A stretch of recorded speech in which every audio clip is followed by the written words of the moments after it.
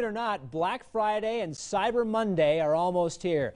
It's a great time to get holiday deals on electronics and basically everything else. So here to help us know which technology is worth your money is our local tech pro, Christopher Cross. Christopher, thanks for being Christopher. Thanks for being with us here this morning. Absolutely. morning. So uh, we're looking about uh, getting deals for Black Friday, Cyber Monday, all that thing.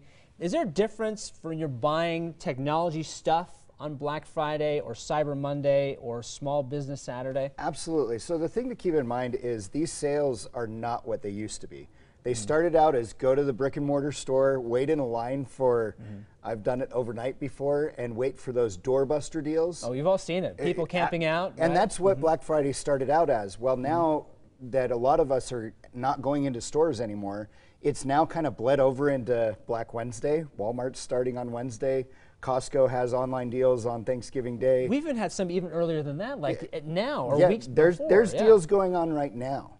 So the, the tips for Black Friday are to know that those are typically the doorbuster deals. Those are the things that you have to go wait in line for. You got to be the first there. But you got to also keep in mind that there's a limited quantity and they're also oftentimes extras or leftovers from last year's model they're they're so not, they may be outdated a little they bit. They may be outdated, okay. not as high of a quality of a product. Mm-hmm. So the things to look for on that are actually what kind of inputs does it have? TVs are the big ones, right? right so, so, if we're talking about a, you're trying to be able to weed out a, a low quality TV versus a higher quality TV with these deals, the first thing you're looking for on a TV is the number of inputs. Inputs. So how many. HDMI inputs does it mm-hmm. have? What is the specs of it. So compare it to the top TVs out there mm-hmm. and see what it's lacking.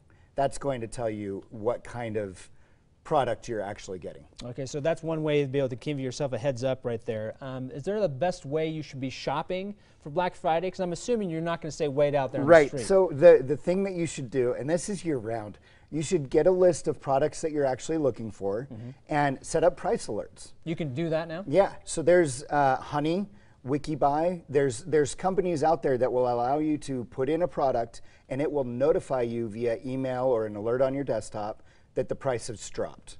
So you can actually be told where the deals are. You don't have to go scouring store after store after store to figure out where the best price is. All right, so yeah, let them work, do all the dirty right. work for you right exactly. there. Exactly. And of course, we want you to have, do the dirty work for us here too. So we want to find out any right. of these technology ideas that we should be following you. How do we find you? So Tech Life Coach on Instagram is mm -hmm. the best way to follow me right okay. now. Okay, you see there's his page right there, of course.